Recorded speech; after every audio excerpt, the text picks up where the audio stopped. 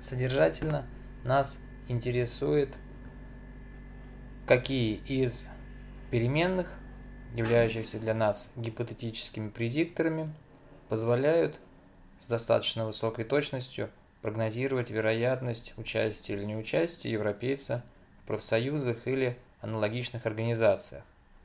В исходном виде файл выглядел таким образом. Это предикторы, это целевая переменная, это технические переменные. Среди гипотетических предикторов мы видим как характеристики организации, где работает человек, так характеристики трудового поведения, некоторые ценности, которые могут иметь отношение к желанию человека вступать или не вступать в профсоюз, социально-демографические характеристики, место жительства, ценности,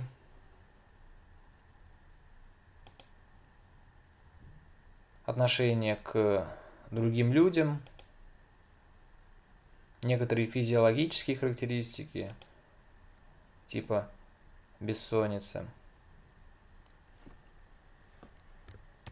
Как я уже рассказывал, категориальные предикторы, они у меня здесь снизу, подверглись дихотомизации, полной дихотомизации, и массив стал выглядеть примерно вот так.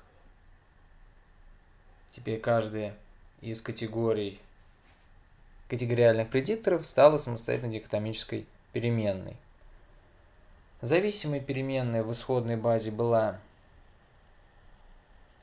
с тремя категориями.